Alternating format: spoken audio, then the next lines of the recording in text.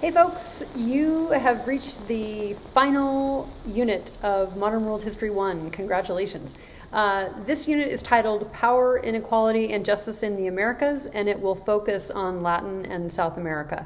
Uh, you are going to learn about the hardships faced by people living in those places because of colonial rule, imperialism, and occupation. Um, you also learn about the amazing people and groups that are working to create a more equitable society and undo the legacies of colonialism. Um, like all the other units in the course, it has a mixture of written tasks and quizzes and a discussion based assessment in the end. Um, and as a reminder, I hope you're in communication with your teacher, either Charlie Trask or me, every time you're working in your course, asking lots of questions, engaging in lots of thoughtful discussions, uh, and really enjoying it. Uh, okay, um, we'll talk soon. Bye.